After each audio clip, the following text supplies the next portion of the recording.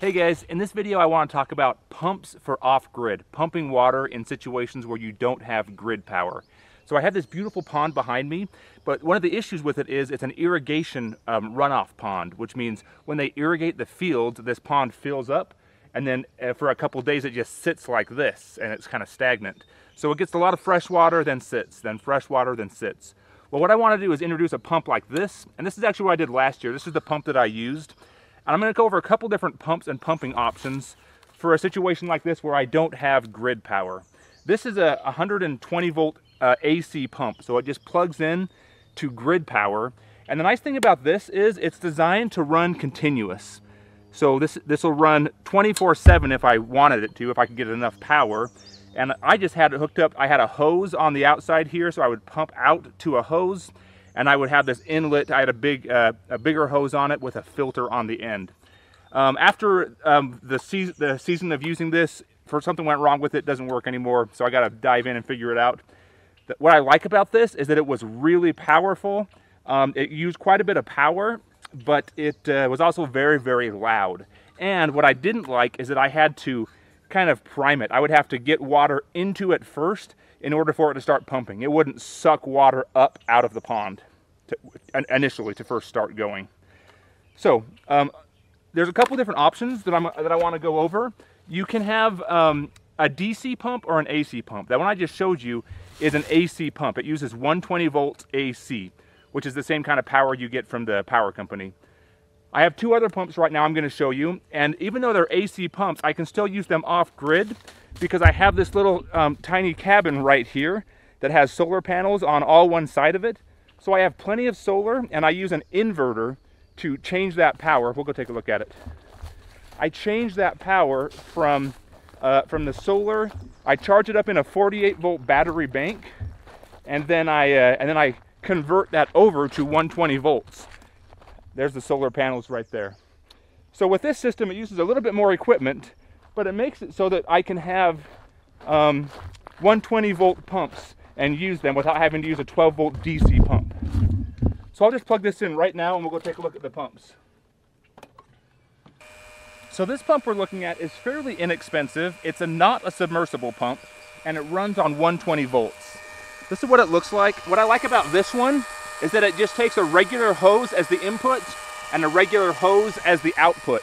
You don't have to have any special connectors or any special types of pipes or anything. I, I forget the price, but I'll include it in the link of the description of this. So this says 115 volts. It says 330 gallons per hour. And it says the max head height is 39 feet. So I can't pump water any higher than 39 feet. In this case, I'm only pumping it up uh, maybe 15 feet. And then I have it inside of a little garbage can right here. So this is a metal garbage can to help filter, screen it. And then it came with this little thing too. I won't pull it out for too long, but it just has a little filter right there that kind of filters out some of the water. So this is pumping up into here. This has the pump that's spinning around. And now it's pumping up and out.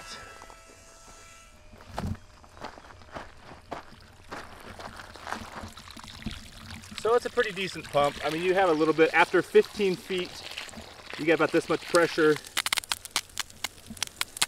Not too bad for for a little pump. So I've got this five gallon bucket. We're just gonna try and fill this up. And, uh, and then I'll run a timer and see how long it takes to fill this up.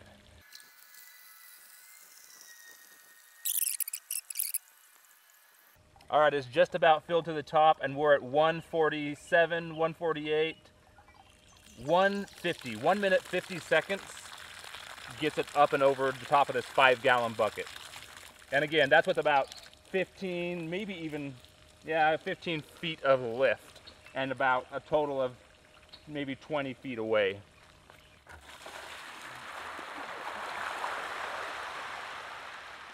Let's take a look at another pump. This is a submersible pump. It also runs on 110, 120 volts and this one, we can see here, it consumes 400 watts. So 400 watt, max head height is five meters, and it says 8,000 liters per hour. So this is a much larger much, much larger pump. I also have this one in a, uh, in a metal garbage can. And this one's nice, it's a little bit more expensive and it has a float on it. So this float, when it's up floating like this, the pump will be on. And if the water level falls and the pump and this uh, float goes sideways or upside down, it shuts off the pump so it won't burn itself up. So this one's a little bit more sophisticated and a lot bigger motor and bigger pumping apparatus. Let's put it in the water and turn it on.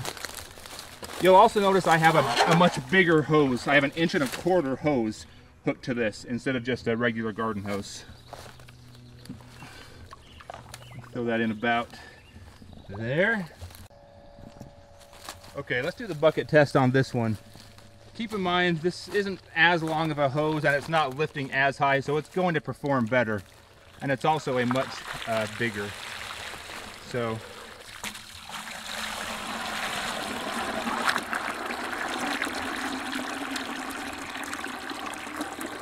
Wow, I'm just counting in my head. We're like 10 seconds right now. And uh, I better hold this bucket or it's gonna fall over. but yeah, 15, 20 seconds to fill that up. So, I mean, compared to the other ones, there's just no contest. But again, what did it say, 400 watts? This uses a lot more power. It's a much bigger motor. So again, this one is, the reason it performs better is because it's much higher. This is 400 watts and uh, it's just a, a bigger motor, uses more power. It's just a, and it's much more expensive as well. I forget the price of all these, but I'll include them in the description of the video.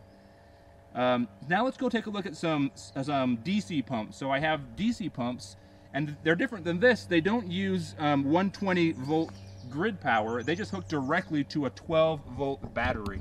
So that can save on efficiency. If you're doing off-grid anyway and you have just a simple solar setup charging up a battery, if, when you introduce an inverter to change it from DC to AC, you always lose some. You can lose as much as like 15, 20% of your power just gets lost in the conversion process. So if you're pumping anyway with a DC pump and you have a DC battery, it can be a good way to go if you don't need any AC power in that location. So let's go take a look at some of those pumps and see how they perform. Here's one of those DC pumps now. This is just a really cheap one, kind of an off-brand, but it says 12 volts DC, uh, well, I don't know why it says AC 100 volts. To be used with DC, not used with AC 100 volt. So if you hook this up to AC, it'll burn it up. But uh, you can see right here on the actual motor, has some information about it, and it just has a little outlet, like a one inch outlet hose, I think, and it just sucks in the water from here. This is a lot like that blue one we just looked at, only it's smaller and it's 12 volts instead of 120 volts. The voltage doesn't really matter. You can have a really, really powerful 12 volt or 24 volt DC pump th that matches the same thing as a 120 volt. The voltage doesn't make, a, make for a stronger pump. The size of the motor and the amount of amps or watts that it uses is what makes it really powerful. So um, we're gonna go look at one just like this, um, a little bit bigger, that's already submersible. What I like about the submersible pumps is that they're quiet. So if you're doing a water feature, um, since it's under the water, that kind of mutes the sound and they're just quieter anyway. So underwater, submersible are going to be better. The challenge with underwater is you have to make sure this filter doesn't get clogged up with leaves and dirt and junk, which is why I put them inside of those um, garbage cans. There a screen around it to help keep some of that debris out. Okay, this is the DC pump setup. So I have a little so solar panel set up there, 100 watts of solar. I've got a battery, we'll go take a look at it.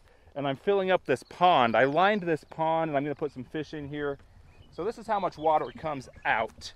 Um, it's probably the lowest flow of any that we've looked at. Again, it's not because it's 12 volt inherently, it's because this is a, a very cheap pump. It's just a very, very cheap pump. It's cheaper than the other ones we looked at. But it's nice because it runs directly off of a 12 volt battery. And even if the solar was disconnected, it would still run. The battery runs the pump and the solar panel keeps the battery charged up and healthy and keeps the pump going. We can see the pump right down there. So it's just under the water there pumping. And this one's pumping up quite a ways. This has the most vertical pump and the longest distance of any that we've looked at so far. This is maybe 45 minutes ago is when I turned it on. So it's filled up this water in 45 minutes. I think it was, it's rated at 330 gallons per hour. It's 12 volts at 8 amps. This little solar setup is just a little briefcase solar. It's portable. It has an integrated charge controller in the back, just like we looked at in the cabin. Uses the same kind of standard MC4 connectors. And then this is just, this just outputs variable voltage depending on how much sun is shining on it. Um, oh, actually the panels do. And this regulates that and converts it all into 12 volts and charges up the battery at a constant, I think 14 or so volts to keep it nice and, and float charged. I'm gonna run a test on this uh, with the submersible pump. So I've got a little stopwatch, make sure I start that. So starting the stopwatch,